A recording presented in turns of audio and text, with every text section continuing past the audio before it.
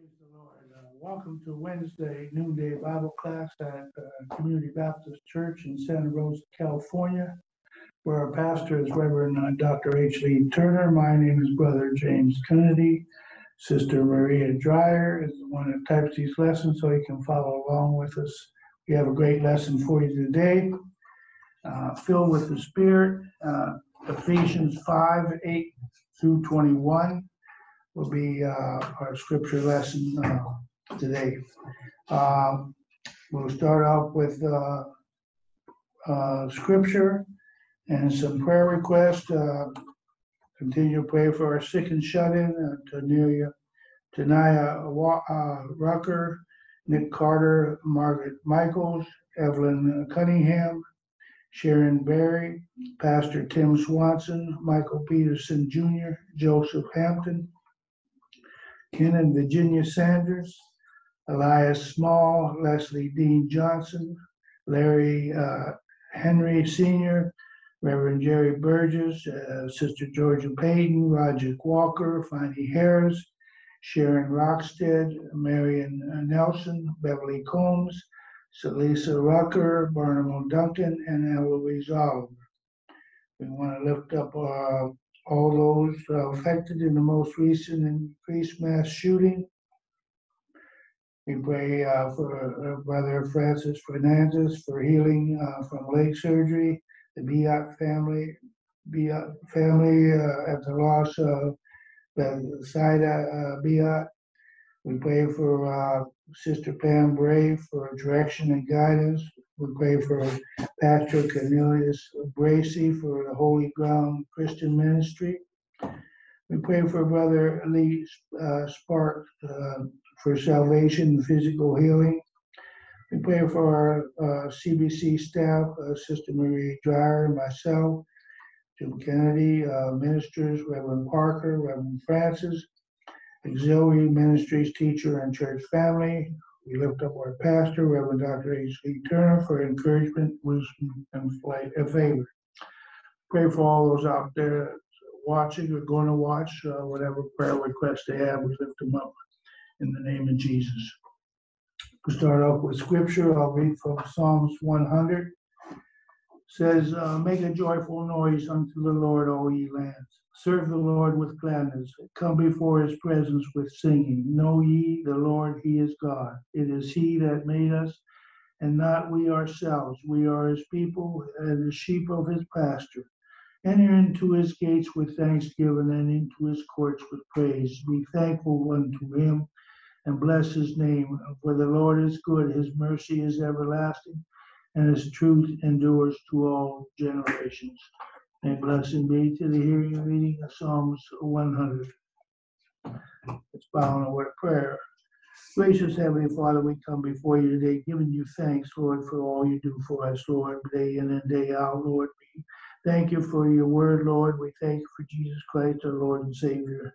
And we thank you for uh, just the Holy Spirit, Lord, to guide us and direct us in uh, our teachings today, Lord.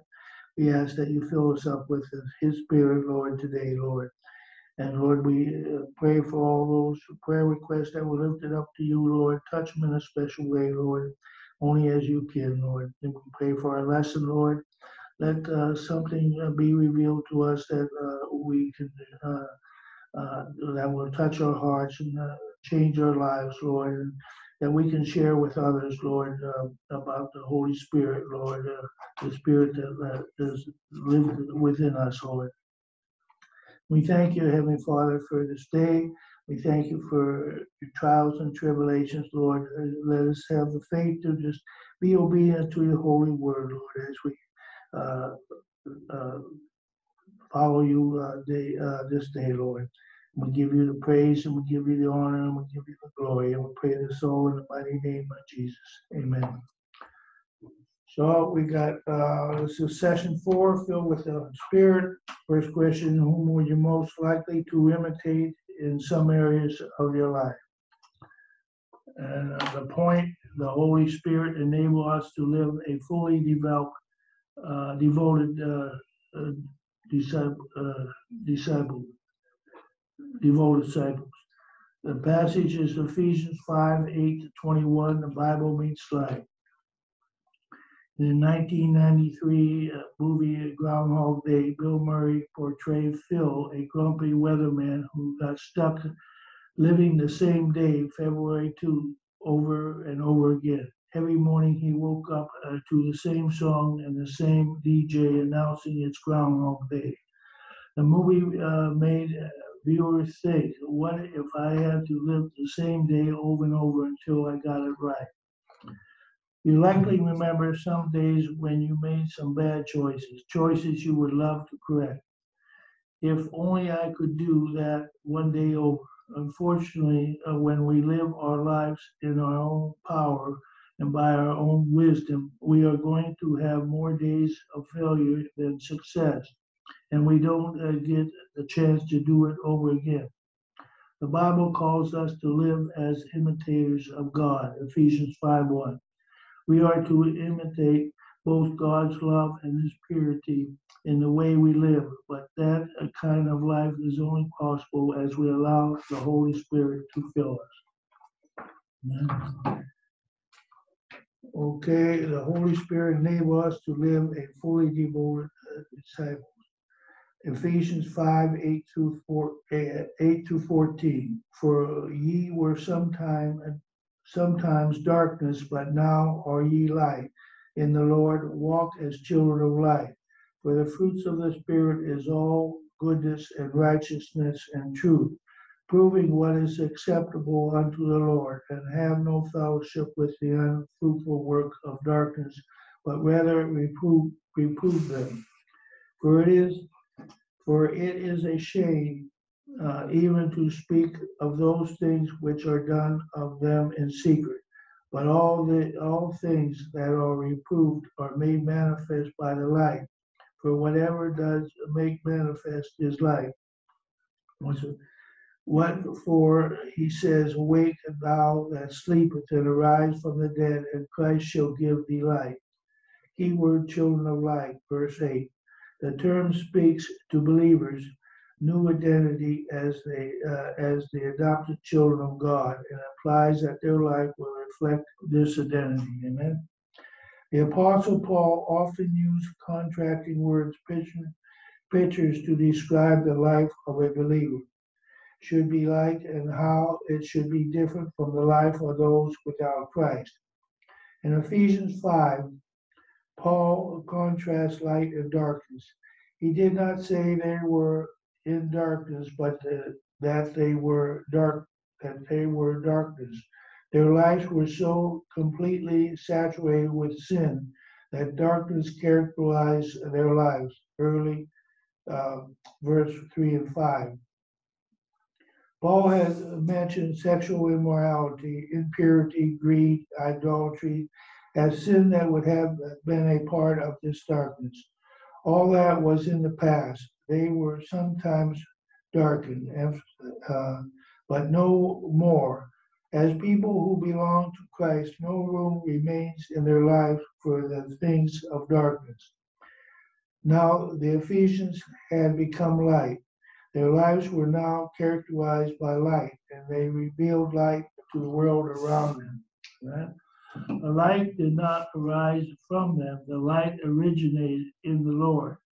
This is true of all believers. Christians are light because the Spirit of Christ indwells them. Because uh, Paul gave us three uh, changes in that growth out of the fact that we are light. Walk in the light.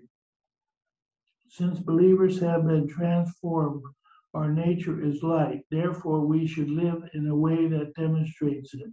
Our life should show evidence that we belong to Christ. Right? produce the uh, fruit of life. The fruit of the Spirit is all goodness and righteousness and truth. Excuse me. This list is not exclusive, but the, these essential fruits should be evidence in the way we live and interact with other people. People of the light are good.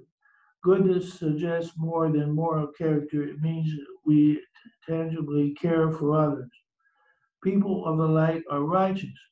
Righteousness describes both the character of God and the state of the person who has been redeemed by Christ. However, in this context, uh, Simon defines righteousness as upright behavior. We should act in a way that honors God. People in the light live in truth. Truth is more than an idea, it's an action. Wood defines truth as a genuineness and honesty as such as such, and then it is uh, not only something to be said, but something to be done. Amen. Uh, discern what pleases the Lord, providing suggestion, critical thinking. Certainly, goodness, righteousness, and truth are pleasing to God, to the Lord. But day-to-day life requires believers to uh, distinguish between what is good and what is are, are the unfruitful works of darkness. A Christian needs to determine what will please the Lord in each situation. Because they uh, because they were now light, Paul warns believers not to have fellowship with the unfruitful works of darkness. But how are we to reprove the work of darkness? Some take this to mean we are to publicly reveal the disclosure of personal sins committed by believers. Some argue that exposing the work of darkness means making clear how evil those works are. Others believe we should expose works of darkness by our lives, not our words. After all, Paul contended, it is a shame even to speak of those things which are done of them in secret. So, if we aren't even to mention the works of darkness, how uh, can we expose them? By living as light in the Lord. This is the line which Paul's statement in verse 13 all things that are reproved are made manifest by the light. We are to live in a way that demonstrates a stark and unmistakable contrast between the works of darkness and light. We do not expose other people's evil so that they can be shunned or condemned. Paul uses what appears to be part of an ancient hymn to emphasize our goal. Awake thou, thou sleepest, and arise from the dead, and Christ shall give thee light. Our goal is to help those who are asleep in darkness to arise and encounter the Messiah. It is a call for the lost to find the love, forgiveness, and the light of Christ. What does it look like? Question two. What does it look like to walk as children of light? Um, our life should show evidence that we belong to Christ. And then um, like on 53, it says, uh, walking our light, our life should show evidence that we belong to Christ, uh, produce the fruits of life, um, the way we live to interact with other people. The fruits uh, should be evidence of how we live and interact with other people.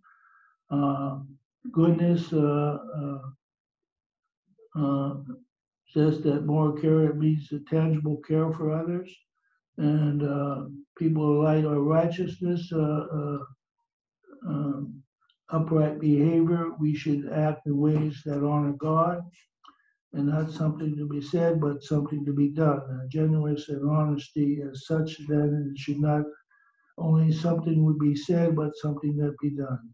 So those are some of the things I, I thought were, were would uh, apply for that question. Ephesians 5 15 and 18. See that, uh, see then that ye walk circumspectly, not as fools, but as wise, redeem the time because the days are evil. Wherefore we be not unwise, but understand what the will of the Lord is. And be not drunk with wine wherein in excess, but be filled with the Spirit after driving my last car for 20 years, I finally got a new one. I, I then found myself parking as far away from other cars as I could to keep uh, uh, from getting any dents or uh, dings. When I first got it, I would even go outside during the day to check on it. It was paying close attention to my car because of its value compared compared with my old one. Paul told the Ephesians to see them to their lives. My car will get old just uh, like my old one. It will eventually get a little scrapes and scratches. It is just not worth the attention I have, have been giving it. Uh, my life, on the other hand, requires my careful attention. Paul has already told the Ephesian believers not to go back to walk in darkness. Now we switch his word choice and told them to walk not as fools but as wise. Wise people have more than simple knowledge. They know how to apply knowledge to their lives so they please God. Amen. The unwise allow the fool and uh, poor decision to bankrupt their lives. Paul defines a life of wisdom by three actions redeeming the time. The phase literally means to buy out the time. The idea is that a believer sees every day as full of opportunity to serve and honor God. He does not let them go to waste. He takes this opportunity seriously. Amen. Because the day are evil, Cohex, Cohex sees this phrase as a focus on the evil to come in the end time. If that is correct, then we must approach every opportunity with a sense that the evil days are coming. We need to make Christ known while we can. Understand what the will of the Lord is. Decisions are fool, uh, decisions are foolish when they are based on worldly concerns. As Vang, uh, says, the primary consideration for the Christian must never be what is most profitable financially, what is most pleasurable or enjoyable, or what will bring the greatest personal advantage or honor. His first concern is to discern what God's will him to be and to do. And I have a, a colleague at the seminar who was trained as an engineer. The decision to change direction and work at the seminary did not make sense to many of his friends or some members of his family. But he believed it was call, calling of God for him, and because of that, he rightly described it as a wise decision. All God's calling is a wise decision. Be filled with the Spirit. Paul offers a somewhat odd contrast between getting drunk with wine and being filled with the Spirit. It's a, a different relation to what we allow to control our lives. Alcohol takes in excess cause a loss of control. Alcohol tends to reduce inhibitants,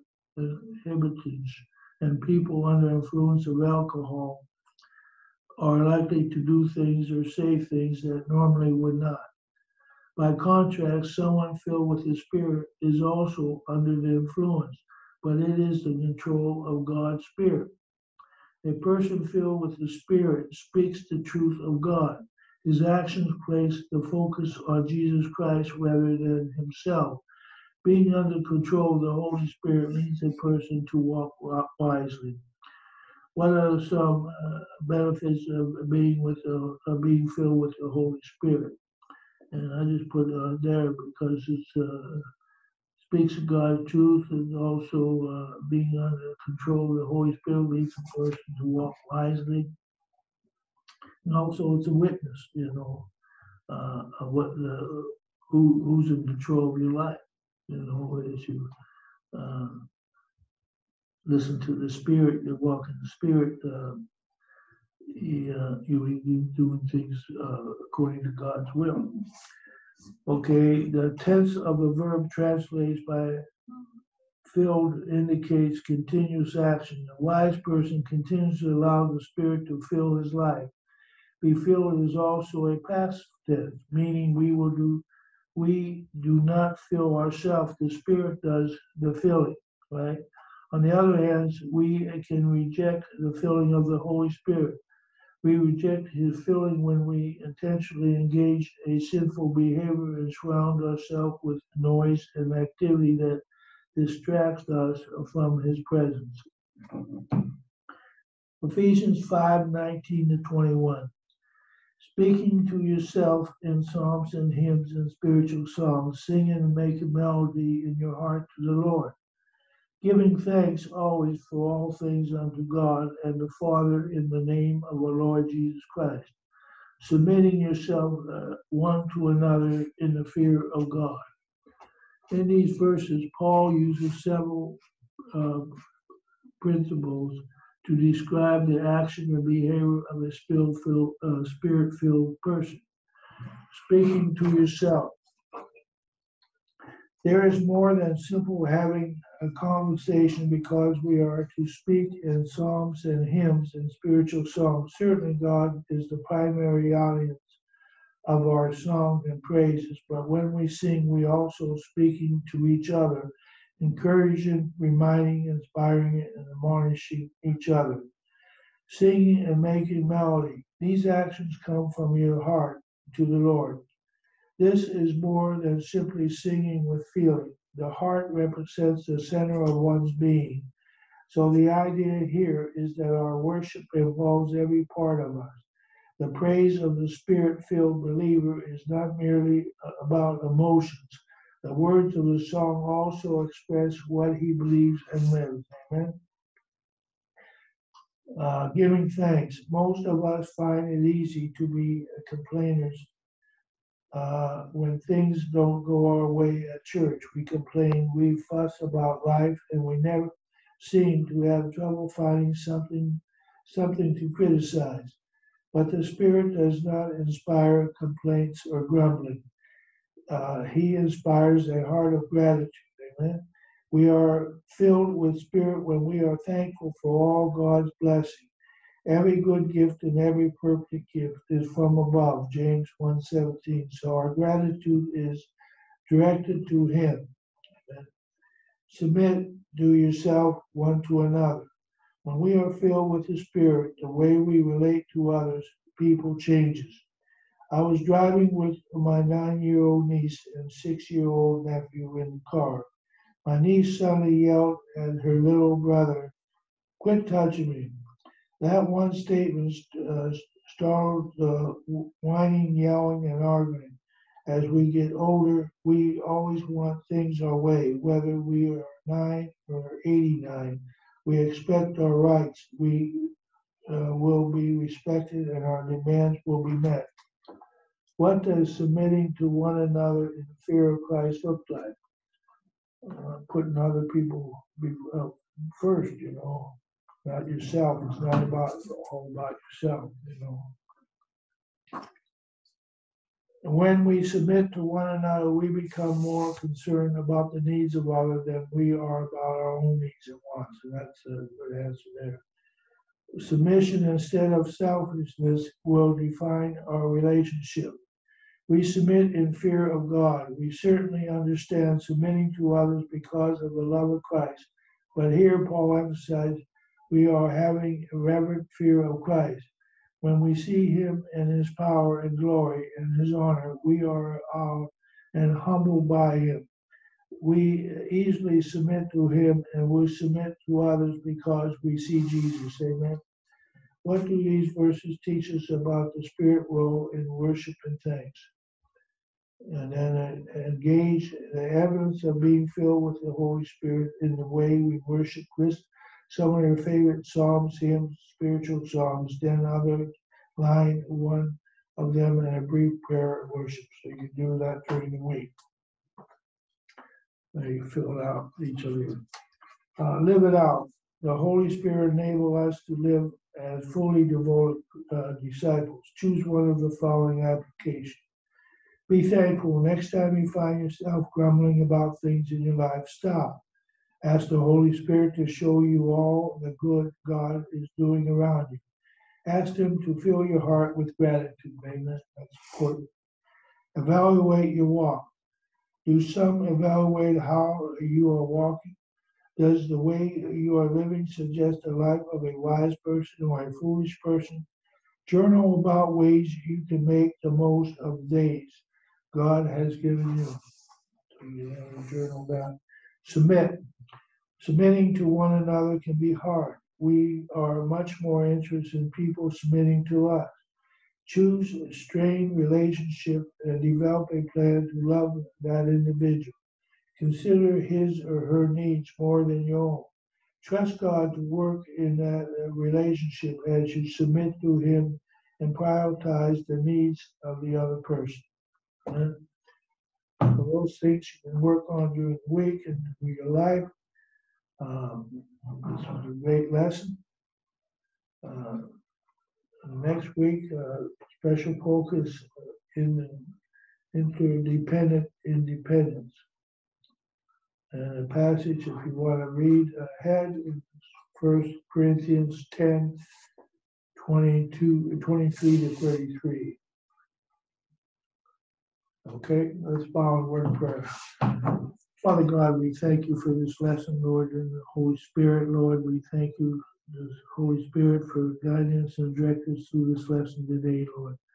We pray that you will continue to uh, be in our lives, Lord, day in and day out, Lord, that we uh, take time to just listen to your voice, Lord, and your leadership, Lord, so we can walk as wise and not as fools, Lord, but do the will of the Lord by the Holy Spirit guidance. Lord, we thank you, Holy Spirit, for coming into our lives, Lord, as uh, Christ uh, gave us uh, the Holy Spirit uh, the day we believed Christ as our Lord and Savior. We thank you that as we read your word, Lord, that we grow in your wisdom and knowledge, Lord, as we apply your truth to our lives, Lord. So we pray for all those prayer requests that were lifted up to you, Lord. We ask that your will be done in each case, Lord that you will let uh, the person know that uh, you are working on his behalf, Lord, that he can trust in you no matter what he goes through, Lord, that you will be with him no matter what he goes through, Lord. So we thank you for your presence day in and day out, Lord. Pray for uh, just your guidance this day, Lord. Order our steps that uh, kingdom building will be done uh, to us, Lord, as we um, walking in, in the spirit and not uh, in the flesh. So we thank you once again for this lesson, Lord. We always thank you for the lessons of the word, Lord. Give you the praise always, the glory and honor, Lord.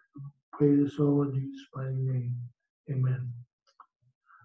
So thanks for watching, and we'll see you next week. Have a great week, and uh, have a great day. God bless.